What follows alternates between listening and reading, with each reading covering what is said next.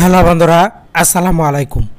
Bangladesh one day দলের অধিনায়ক, দেশ সারা dancing opener batting genius Tamim Iqbal. Tamim Iqbal সম্প্রতি তার ফেসবুক পেজে একটি পোস্ট শেয়ার করেছেন। সেই পোস্টটি দেখে রীতিমতো বক্ত অনুরাগীরা হতবাক।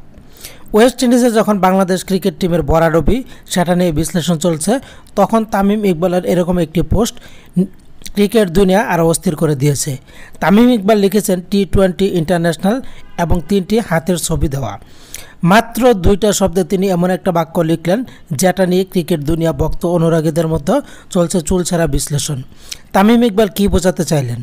হাতের ছবিতে বোঝানো যায়, স্বাগতম এবং বিদায়। তামিম ইকবাল কি তাহলে টি টোয়েন্টি ক্রিকেট থেকে বিদায় নিচ্ছেন? এমনিতেই কিন্তু Tamim Iqbal T twenty cricket থেকে ছয় মাসের বিরতি নিয়েছেন।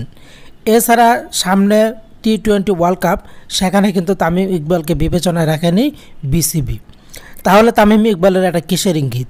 তিনি এই যে পোস্টটি করেছেন টি টোয়েন্টি ইন্টারন্যাশনাল তিনটি হাতের ছবি, মাত্র পনেরো মিনিট স্থায়ী ছিল, এরপরে নিজেই কিন্তু এই পোস্টটিকে মুছে দিয়েছেন, সরিয়ে নিয়েছেন ফেসবুক থেকে।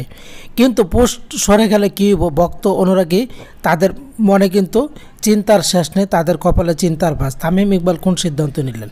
তবে কি আন্তর্জাতিক টি টোয়েন্টি থেকে তিনি সরে যাচ্ছেন? আপনারা কি ভাবছেন, লিখে জানান। আর থাকুন চ্যানেলটির পাশে।